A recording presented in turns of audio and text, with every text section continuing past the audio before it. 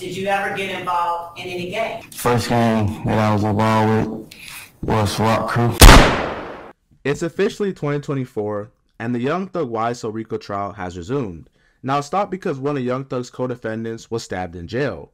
The trial took an interesting turn when they brought in YSL Slug, someone who they labeled as a YSL co-founder alongside Young Thug, and a witness on the stand. Now I know everyone, especially the real street niggas, have this approach that anyone who takes a stand for any reason is a rat or a snitch. But YSL Slug had a very different game plan. So YSL Slug, who also goes by YSL Tick, is a state witness for the prosecution. Now Tick went on there and they began to ask him questions about his rough upbringing in Atlanta and basically to paint the gangster image of him and Young Thug. First, they got him to essentially pledge his allegiance to Rock Crew, which is raised on Cleveland. Did you ever get involved in any gangs?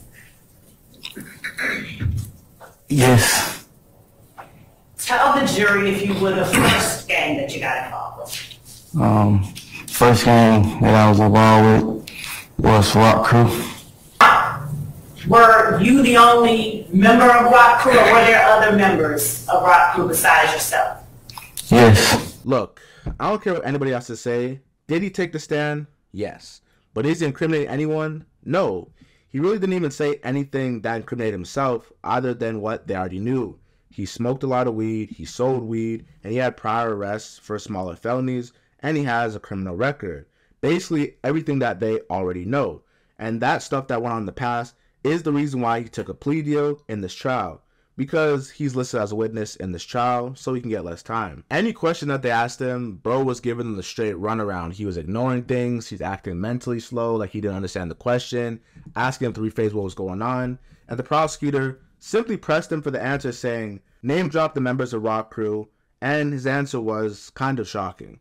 Other than Mr. Porter and your two brothers, would you please tell the jury and Mr. Scott Please tell the jury other members of Rock Crew who were members during the time that you were a member. So, so you want me to name everyone that I like grew up with, basically? I would like for you to name for the jury other people who were members of Rock Crew during the time that you were a member.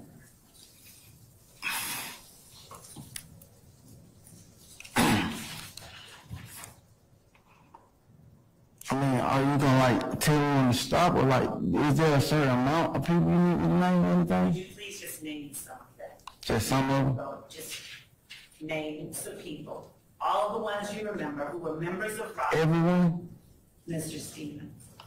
Would you please name the members of Rock Crew who were members while you were a member? I probably wouldn't even be able to name everyone. Name the ones you can name. So, uh, Again, I probably won't be able to name everyone first and last name. So I got my next door neighbor, we grew up together. His name's Marvin. I need you to just name the members of Rock Not friends, not people you grew up with necessarily, just if you just give the names of the people who were members. So then he starts to name drop his neighbors, his cat's uncle's brother, his dog's uncle's sock, and a bunch of other people and materialistic things that have nothing to do with this trial showing that he's playing in the prosecution's face. So they started to ask him more questions about him as a juvenile youth, and actually asking him how old he was when he was 12. Not sure what they're trying to get at here, but they're trying to say that he started being a gang member at 12, which is the Rock Crew. And just listen to how this played out. Who is depicted in State's Exhibit 2 uniform? Me. All right. And what part of your body is depicted in State's 2 uniform? Is that the left side of your abdomen? Left side of my abdomen. Yes. And are there letters written on the left side of your abdomen? Yes. Are they still there? Yes. Is that permanent ink? Yes. Would you tell the jury what the letters that I'm pointing to are? There they go. Those. A Y, a S, and a L. All right. And um, are they colored any particular color? Yes. What are they colored? Red. And is there a sign or anything else above the Y, the S, and the L? Yes. What is that? A Corvette's car symbol. Okay. Now, is there a sign to or a picture to the left, and in particular here? What is this? Um, a marijuana plant. All right. And below that, what is depicted at the bottom next to the L? Uh, a award of money. Okay.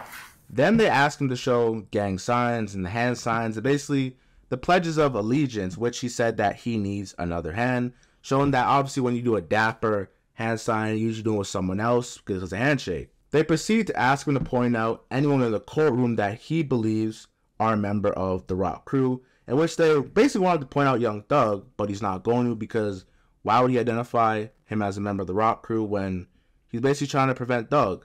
Yes, he's in jail because he did a sting, but basically him going on the stand is so that everybody can get out of jail. He's going to say the least, but he's also not going to be in jail for a while because he took the stand. So it's a bit of a very uh, imbroglio situation. Since they weren't getting anywhere with any of these questions, they started to pick apart his personal image and dissecting the meaning of his neck tattoos and asking him various questions about why he got these certain images, such as the guns and different colors that he had inked on his body.